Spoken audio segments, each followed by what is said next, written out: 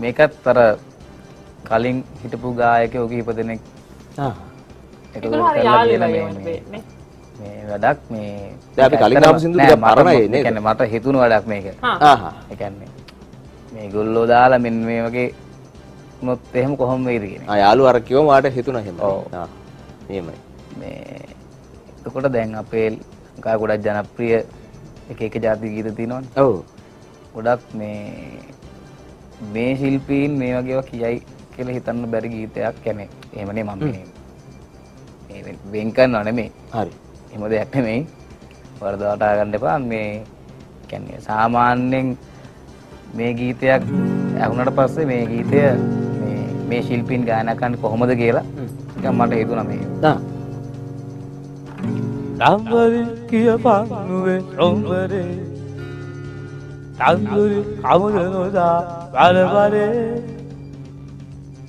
වකර කවුද ඉලෙජරමරේ අම්පාරේ මල්ලිනි දිද කාඹරේ ජම්බෝලි වගේ ඉන්න සුන්දරා සම්බෝලේ කොටලග මුදලුණු දමා දංගොල්ලේ මාම ඇවි මහකුණා කස්පල්ලේ ඉඳම් බොමුද රාබෙරා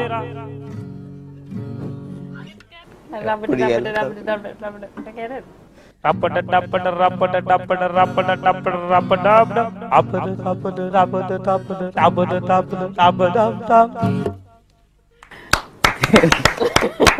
මම හිතන්නේ ඒ ගැන කතා කරන්න දෙන්න ඇත්තරම ඒ මහද්දි පොඩි ලස්සනක් තියෙනවා නේද? ලස්සනයි ලස්සනයි මම ඒකයි අර අවශ්‍යම කෑලි කියන්න කිව්වේ ඔය ඒ එහෙම කිව්වේ මේ අපේ ලහිරු කියනකොට කැතයි කියලා එහෙම නෙමෙයි ලහිරු තරහා වෙන්න එපා අපිත් එක්ක. විශිෂ්ට විදියට ව්‍යාගේම හඬකින් කියන අපි මේ මෙයාට හිතිච්ච අමිලට හිතිච්ච පොඩි එකක් කිව්වේ. මේ අනිත් එක පොඩි කාරණාවක් කියන්න ඕනේ. කියමු කියමු. ඕන කාරණාවක් මේ කියන්න පුළුවන්. මේ සියලු දේවල් මේ මේ විදියට මේ ඉදිරිපත් කළාට.